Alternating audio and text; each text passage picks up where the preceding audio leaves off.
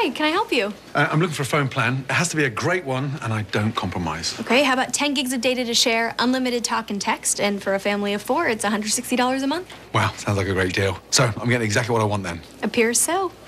Now, um, I'm not too sure what to do with my arms right now because this is where I usually start throwing things.